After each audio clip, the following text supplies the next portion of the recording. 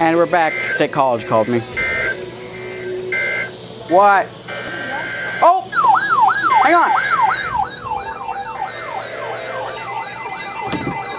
Severe thunderstorm warning!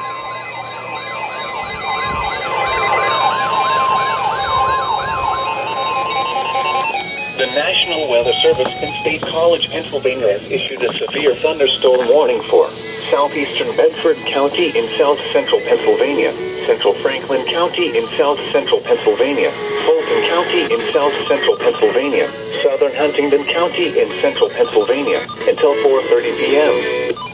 At 3.48 p.m., severe thunderstorms were located along a line extending from Valley-Hi to Crystal Springs to Locust Grove to Englishwood to near Barnes Gap, moving northeast at 50 miles per hour. Hazard, 60 miles per hour with gusts. Source, radar indicated. Oh. Impact, expect damage to roof. There they go! Sightings, entry.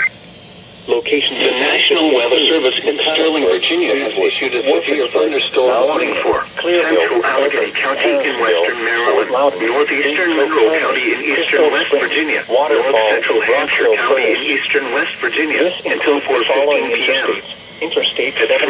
Interstate at 3.47 p.m., severe thunderstorms were located along a line extending from near Bel Air to 6 miles southwest of Fort Ashby to near Keyser, moving northeast at 45 miles per hour. on the lowest floor of a building. 60 miles per hour with gusts and quarter-size hail. Tornadoes and widespread significant radar indicated.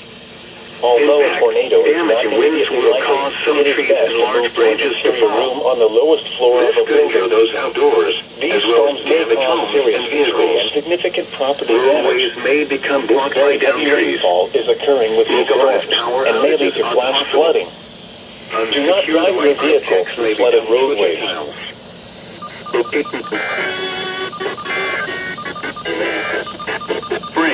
tiles. Spring, The thunderstorm warning for Reese's Mill, Patterson Creek, Wagoner, Pumpkin Center, and North Branch.